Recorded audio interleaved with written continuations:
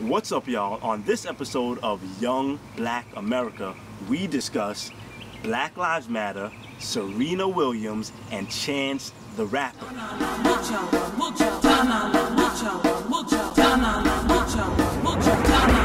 Welcome to America. Welcome to America.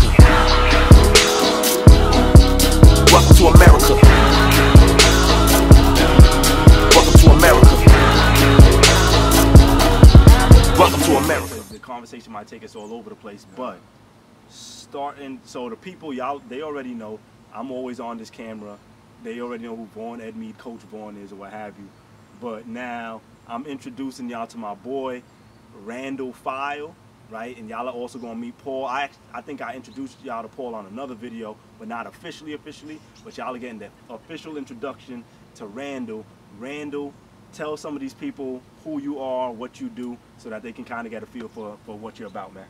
Hey, what's going on, y'all? Randall File. Once again, I want to uh, give praise to, to my brother Vaughn, uh, Coach Vaughn, for having me on today. Um, we feel passionate about a lot of the same things. Yes, sir. Um, empowering uh, youth, uh, particularly black, young black males, um, to safely and productively navigate this world. So um, I've really dedicated my life to education, uh, specifically higher education. I'm currently uh, working at UMD, University of Maryland, um, as an academic advisor and uh, chairing diversity initiatives and so forth. So real blessed to be here, excited for the conversation and uh, look forward to connecting. Absolutely. So, sounds good. So, like y'all heard, he works for University of Maryland. All right, he's doing his thing over there. Um, you know, empowering the the young lives over there, what have you. So, as you can tell, uh, we are two young black men, and I've decided to entitle this particular show um, and and this particular series that we'll do, uh, "Young Black America." all right, young black America, because we have been facing some particular challenges, as y'all have seen in the news or what have you, and I just want this to be an outlet um, for y'all to get information that'll encourage you, that'll empower you, and that'll help us to uplift our people, um, and not uplift our people because our people are better than any other people, but uplift our people because, um, again, all lives do matter, right? But our people, the Black Lives Matter, and, and we've seen to have some particular challenges in the black movement. So. Um, um, let me ask you, Randall. You saw the events that went down last week, talking about Alton Sterling, Alton Sterling, um, and um, uh, Philando Castile. What is what were what were some of the thoughts that went through your mind as you were thinking about, as you saw like the news or what have you, as you saw everything that went down after the like, what what what came to mind? To be honest with you, man, uh, the first thought was different days, same stuff. Mm. You know, um, I, I think especially as we usher in this this new kind of age of social media and so forth, uh, it, it's not uncommon that you see, you know, some really violent um, stuff like that. Mhm. Um, you know, it's it's almost as if I become desensitized Mhm. to it, to you Mhm. know, just the uh, you know absurdity of it. Um, but I went straight from that to frustration, the Mhm. anger, um, and really actually after I saw the the Castile, the Philando Castile shooting, mm, the very next Mm. morning, mm. that that's when I started to get emotional, man. That, that's when the tears started flowing, and that's when you know I didn't have as much control over how I was responding Yeah. to to the incident um, anymore, especially after having conversation with my father Mm. and my brother about it, man. So. yeah. Yeah, that was interesting. Yo, yo, truthfully, um, what what happened? I was watching. I saw like the first one, the one with Alton Sterling, Alton Sterling, and somebody had like a side view uh, video with their cam from it, and I saw that. I was like, yo, that looks crazy, you know. But it wasn't until I saw somebody who had the camera view that was like literally almost like right on top, where like something moved or something shifted in my spirit, like, yo, that's crazy, like, like literally, like I felt completely different. I felt horrified, like, yo, how did that just go down? Um, and that's when I was like, yo, you know what? Um, I really want to dedicate significant amount of time um, to really just helping black our black uh, friends and our black uh, relatives or what have you, helping us elevate, man, because um, this has been hundreds of years now that we've been going through some stuff. Sure. So, one of the things I want to ask is, in your opinion, how do we how do we like rise from this kind of stuff like like what like what needs to be done in order for us to be able to have the I don't I don't even know what word I want to use but in order for us to have the status so to speak or the the the lifestyle or the um the peace maybe that we see other people seem to be able to um, enjoy in this country, but it feels like we can't enjoy that same thing. What do you think has to happen in order for that to change? That's man. That's that's a loaded question, and, Mhm. and you know, let me start off by saying, by no means am I the expert, Mhm. right? I, I think uh, really to this point, nobody is expert because Mhm. we're still seeing the same issues persist, Mhm. You know, for centuries, for Mhm. decades, and so forth. But but I would say it definitely uh, kind of it, it, has to be a collective movement, right? So I think um, there are definitely things within individuals, within our individual community, the black community, that we can uh, identify as persistent issues, as things that we can control, Mhm. things we can uh, kind of empower each other, educate each other about to uh, take steps toward overcoming. But ultimately, I think what we're up against is, you know, like that biblical s- scripture, you know, principalities. and- and Mhm, we're not mhm, wrestling against flesh and Mhm, blood right now, right? If, it- if it was, then it would be a lot easier to Yeah. overcome, right? So Yeah. these things are really above, uh, you know, humanity, right? So I, I think, I think it has to also we have, have to also acknowledge that, you know, this country was founded on on principles, ideologies, man, that uh, had us and perceived us as less Well, than. Okay. Hold on, hold on, hold on, Uh, hold on. okay. Let me let me let me ask you. Let me ask you real quick because some would say now Uh-huh. we we now this show is for whether you're Christian, whether you're Muslim, whether you're you, we don't even okay. care what you are, right? We we just want to take the chance to pour into y'all, right? But we Mhm. both happen to be Christian, Mhm. all right? So I want to ask you, um, when you ask a lot of people, because you were just about to say that this, thi- what this country was founded on, right? And you and, and you were about to go one direction. But if you ask a lot of people, a lot of people Uh-huh. are like, "Yo, this country is founded on Christi- on Christian principles," or if Mm-hmm. you want to just maybe uh, color it a little different, at religious principles, etc., cetera, etc., cetera, right? Right. So Mhm. how do you how do you um, reconcile what you because you were gonna say this country was founded on what slavery, um, treating uh, a group of people as less than, not just one group of people, a number of group of people Oh, actually, oh, right? sure, So how do you reconcile when people say that this country was built on like um, um, certain principles that we consider to be, uh, I don't even want to just say religious, but good principles, but then the challenge that we've experienced as black people when we know that it, it, it didn't seem like there was good principles for us. Sure. Yeah, so I mean that, that that's that's another good point, Mm-hmm. man. I, I feel like um, just because you call it Christianity, you, Mhm. you know what I'm saying, just call because you call it ethical, Mhm, you know, mhm. moral doesn't mean that it is, Mhm. right? So I think what, what what we saw, especially in the foundation of this uh, development of this country, is that um, they skewed Mm. you know, um, Mhm. and mixed and matched, Mhm. uh, you know, biblical principle in a way that would kind of help them reconcile their Mhm. cognitive dissonance, Mhm. right? So they, they had a certain perception of us. Cognitive dissonance. Right, right, so- that's a word for y'all. Yeah, so so they, they were thinking, you know, they they were going through the motions uh, of you know formulating this country and so forth. There was a lot of guilt associated with that because Mhm. lives were being lost, Mhm. people were being exploited, and so forth. What other way and what better way to justify your actions than to take, you know, biblical Mhm. scripture and, and, and doctrine Mhm. to justify why you're doing that, right? Mhm. That biblically it's saying that these people deserve this, right? That these people are an abomination, that these people um, are inherently evil. Mhm. Okay, so we're, you, know, being, uh, uh, you know, essentially fulfilling biblical prophecy um, by, you know, disenfranchising these people and keeping them down where they, you know, are meant to be. So I, I feel like a lot of that is just the skewing of what the word is actually teaching us about um, how to interact with one another, how to love one another, how to, uh, you know, be Christ-like toward one another. So, um, yeah, that, that would essentially be my answer to that. Okay.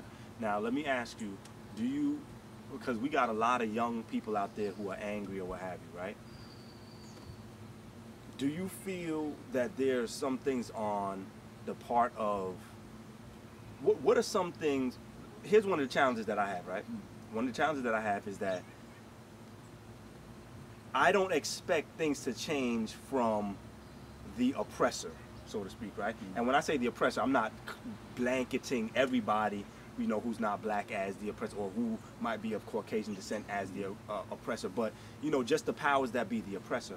So I'm not expecting that the oppressor or the oppression would change on the part of the oppressor unless something um, impacts the oppressor in such a way that makes the oppressor. So, if, for instance, right, oh, you got a lot of people who are doing things to uh, uh, affect the finances in the country right now, right? But uh, to go deeper, I'm not one that thinks that I'm going to be able to rely on anybody else to change anything, right? I think that the change is going to have to be within the African American community, okay? That being said, how do I want to phrase this?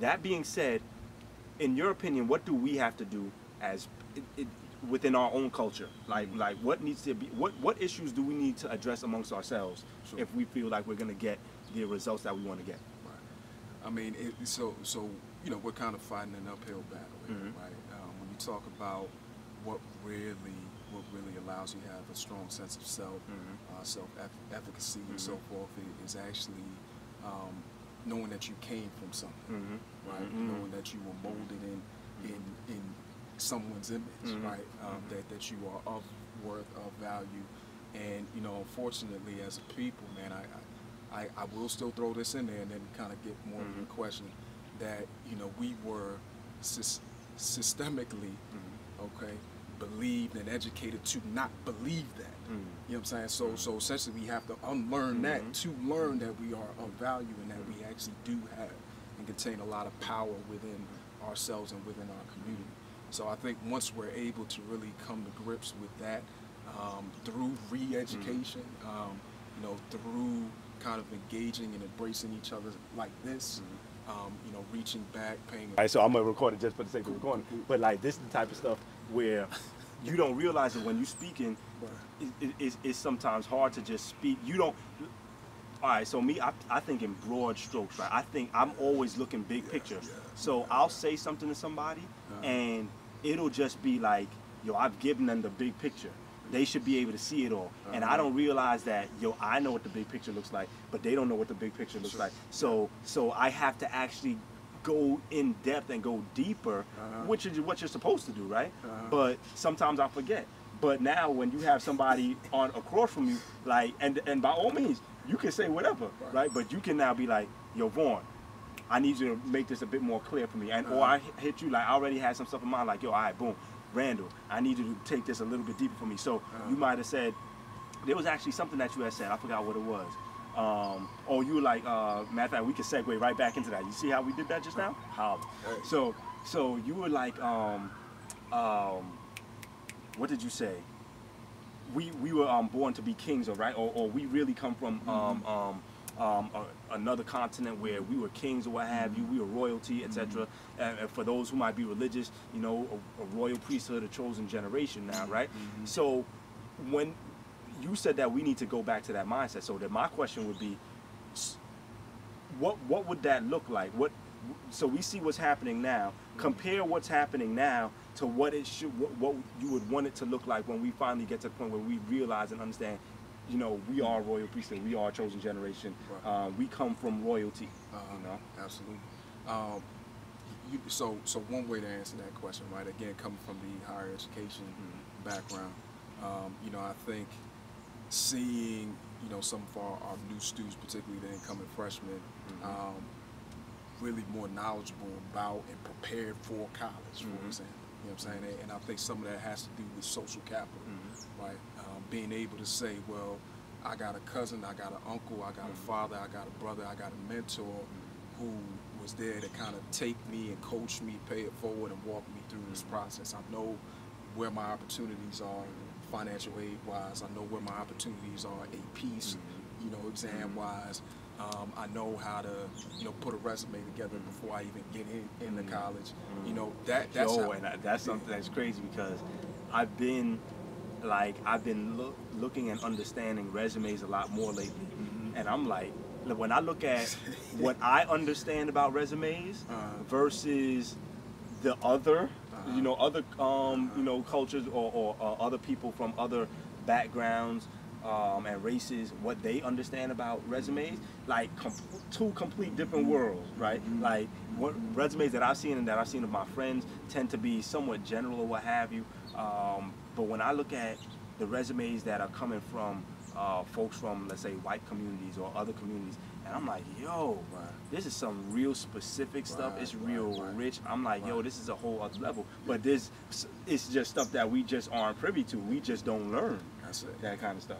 Yeah, I mean, so, some of that does have to do with class, man. I, I don't necessarily want to put it on all black Oh, yeah, yeah, people and yeah, races yeah, and- and, so forth. But but I mean, that's what it is. It's, it's a mm-hmm. skill. Mhm. You know what I'm saying? And, mm-hmm. and it's something that you know maybe other cultures don't realize is a skill mm-hmm. because it's what they've always Right, been right, taught. true. Like they True. they've been from the day they was born. They they've been prepping, or their Mhm. parents have been prepping them to take over the business. Mm-hmm. Right? We we been prepped to get a job. Mhm. You, you know what I'm saying? So I, I think, you know, it's kind of ingrained in the upbringing. I think we ought to be able to do the same. That we are prepping you to take charge, uh, to be able to articulate your, your value added um, in, in any circumstance. And, and I, I think that's just one example of what it would look like to really adopt that sort of mindset. Yeah, good stuff, man. To switch, uh, switch, switch it up a bit, man. Sports. You've been following what's going on in sports. All right, man. So what, what, what stands out to me? The NBA, because I want to, I want the people to also kind of get like a, you know, the whole picture of who we are, what have you. Not just serious all the time, but like we enjoy stuff too. But maybe there's things that we can even learn from going into some of the other topics that we do. Um, our people tend to be heavily involved and um, attentive to sports. Anything that stands out to you in the sports world right now? Yeah, yeah, yeah. Um, I mean, so, somebody, and I, I want to stay on more the light side, Mhm. but um, this is free agency, man. To be honest with you, Mhm. um, In NBA, you talking? oh, for sure. yeah, Um, NBA I- looks I do- crazy right now. And I do want to throw out there props to Serena Williams. Oh, the Williams yeah. sisters for, for, for winning the, the doubles. Um, Serena Williams, Williams getting her 22nd Grand Slam. I think Absolutely. she, uh, you know, was doing major things. And I think she tied now. Is tied for the most women's Grand Slams or what have you. second most, Oh, second most Second most, yeah. And then um, how many more does she need to tie? two. Two. Two. And then so three she needs to take it all by herself. So Right, right, right, hopefully she'll she'll get it. I think she will. Absolutely. But um, yeah, it's amazing to see. So so I'm glad that you brought that up, right? Because we don't just want to talk about like we have so many people that are into entertainment in our cul- cultures or right in the black culture and the black community already, right? And that's all we get from it is just entertainment. Mm-hmm. But I want to also see what principles can we get. Mm-hmm. So I want y'all to pay attention when you think about Serena. Look at the longevity that she's had, right? Imagine how much focus that's ta- it takes to have that. Imagine the amount of consistency mm-hmm. it takes to have that. We've been I've been hearing about Serena since I'm I'm 32 years old now, right? I've been hearing about Serena and Venus from the time I was in grade school still. I was in like high school still, you know what I'm saying? And they've had such longevity, which is uh-huh. unheard of. You look at other people who have just retired. Tim Duncan, shout out to Sure. Tim Duncan. Hey. Shout out to Kobe Bryant who's decided to mm-hmm. retire, right? So so I think sometimes we get caught up in only looking at the sports, mm-hmm. but we're missing out on the fact that like what does that mean for us in our own spheres what mm-hmm. does that mean for us on our for those of us who have jobs for those of us who um, are, are involved maybe you're an entrepreneur right? Um, maybe you're involved in something else but what should, what does that mean? Like what to have that type of longevity what does that take? Have we have you ever thought about that right? To, to all y'all out there have you thought about what it takes to have that type of longevity in your area? Hmm? yeah. Yeah, yeah, that's that's deep, man. And I, I think, you know, I, I'm a paraphrase of what actually your boy ET said. I mean, it's, it's really about thirsting after that hunt. mm-hmm. You know, so it, it's not just about being a beast, but it's actually putting in the work behind the scenes when nobody's looking. You know, Mhm. what, how you how you productive when spending your off time. You know, and, and committing to that day in day out. He was even talking about how Kobe, after a- a regular season loss, you know, uh, in the away stadium, he was shooting jump shots Mm. repeatedly from the spot where he he missed the game winning or game tying shot. Mhm. You know that that's the type of thing that that creates longevity. You know, so and this just came to mind. I want to make sure that they get this. Yo, for real. Don't worry. Don't try to always go down the same path that everybody else is going down, right? Because who knows what opportunities you might be missing out on in a place that's a little bit less crowded. And the reason why I say that is because we look at Venus, we look at Serena, right? Now we know that in the black community, the black community is not necessarily heavily involved in um, tennis. You see what I'm saying? With, it, it, truth be told, we're not heavily. But shout out to Ruben. I know Ruben might watch this. Well, I don't know if Ruben watches anything that I do. But Ruben, if you watch this, shout out to you because that's one of my boys that actually plays tennis back home, Uniondale, New, uh, New York. Shout out to Uniondale, New York. As a matter of fact, oh I yeah, took- I took lessons from back in the Westbury. New York. Oh, you Yeah, did? yeah, I so you took took lessons lessons. yeah, Paul's from Boston. So shout out to Long Island real quick because even though we in the DMV, the DC area, shout out to Long Island, which is where me, him, and Paul are all from, man, New York. Um, but we we often t- everybody wants to go ahead and be a, a basketball player. Everybody wants to go ahead and be a football player. Everybody wants to be a rapper. Not and I think that when you look at Venus and Serena, yo, they went into an area that black people don't usually go into.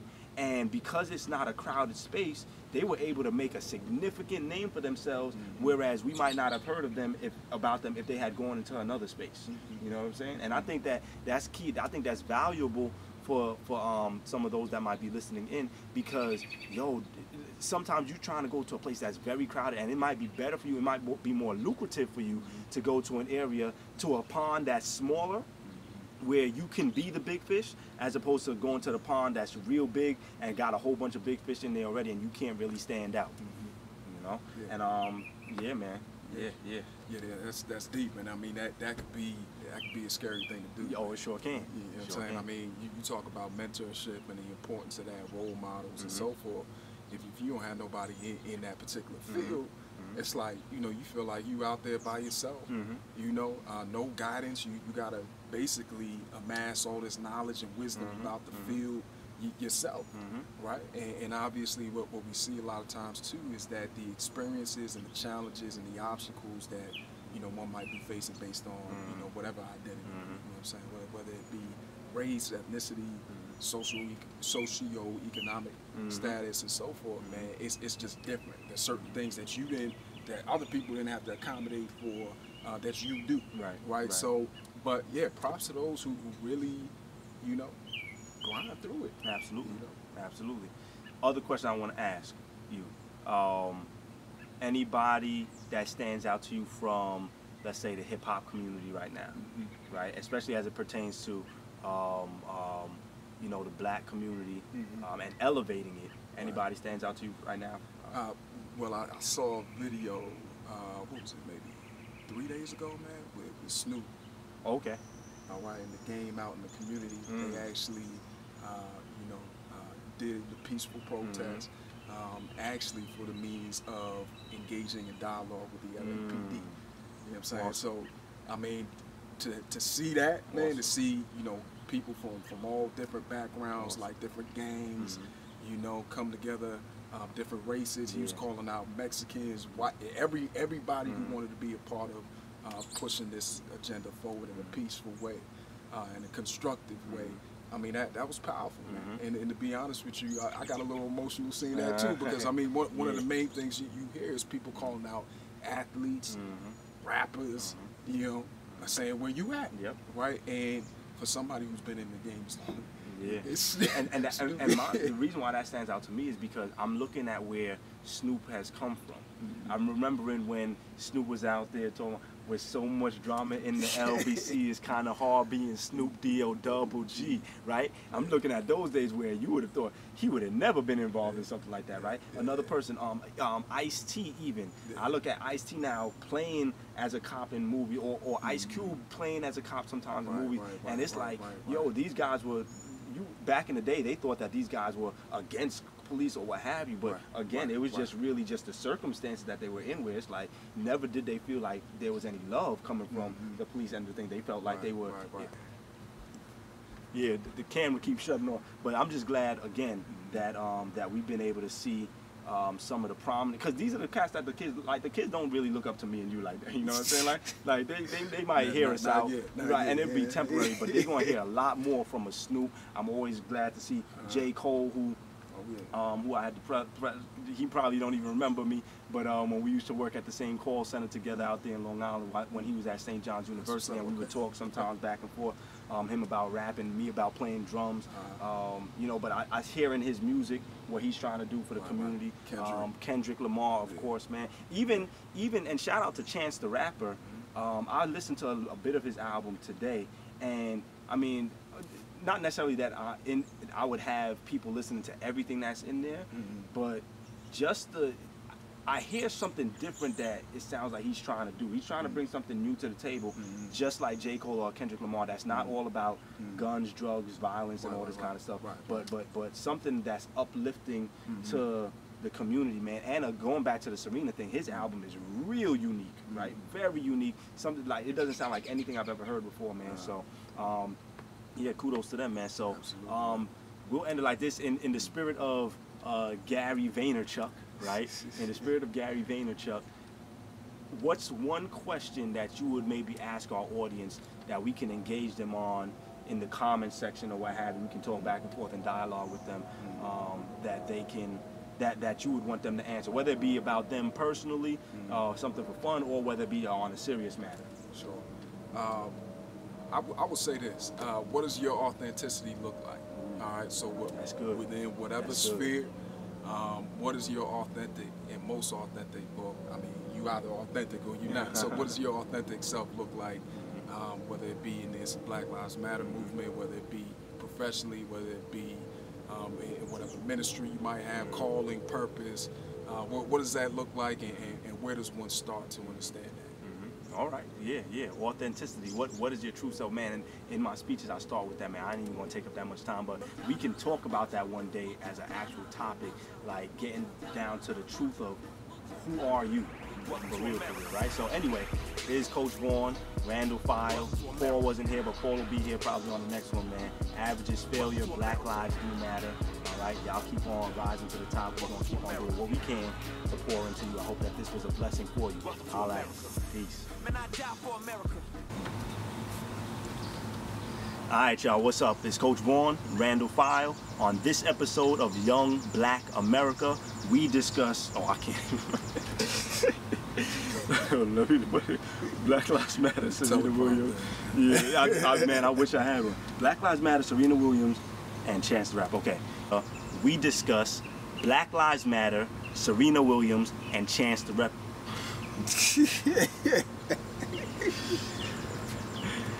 oh man, here we go. Here we are. I got it's this better out. than what I can do. I'll tell you that. But What's up, y'all? On this episode of man, bugging. What's up, y'all? On this episode of Young Black America, we discuss Black Lives Matter, Serena Williams, and Chance the Rapper. See you soon. I'll probably cut that "see you soon" part out. you could. Yeah, there we go. We I got it. know nothing about this. Mm-hmm.